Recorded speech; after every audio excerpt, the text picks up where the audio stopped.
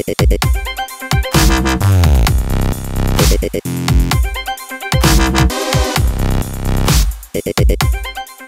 guys, what's up? Is Dave, the Open Source here, and let's take a look at an Xposed module called Multi-Window Sidebar. So Multi-Window Sidebar pretty much gives you a Samsung-like sidebar that you find in TouchWiz ROMs.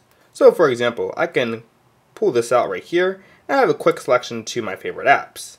Now what's cool is that this actually gives you a lot of features. Open up an app, let's say Chrome, it opens in its own window. So here's a multi-window feature, and I click up here for it to go away. So let's try another app. Let's try YouTube. Clicking that opens up YouTube within its own window, and of course I can watch videos and just have that full capability. So customizing this is really easy. Let's go to the multi-window sidebar settings, and then in settings I can toggle the service starting at boot, uh, app launch mode. Now right now I have set to Paranoid Android Halo, which gives me that nice multi-window feature that you see. So opening up like Tapatalk gives a nice multi-window. If I set it back to normal mode, what it will pretty much do is launch the app like normal, so open up Chrome, will open up the full window like we're used to. X Halo floating window and multi-window, and that's for if you have those Xposed modules installed, then you can do that as well. And by the way, I am running Paranoid Android uh, ROM right now, so just in case you're wondering. Sidebar position, we can adjust it, it can be left to right.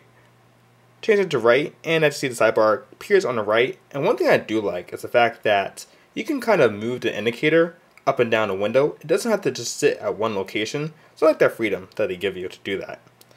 We can change the set tab size, so I can go all the way up to 68 dp, and now it's huge. Let's turn that back down to 34. Uh, label size and animation speed. Now, we can adjust the apps that come up with any quick launch by going to select apps. And here are all the apps I added. I can add a lot more apps if I wanted to, but I like these apps, and like I said, it just makes it easy to open it up and when you game, the sidebar is still visible. So as you can see down here, I still have the sidebar and I can still pull it up and I can still have quick access to these apps. So let's try open up Chrome.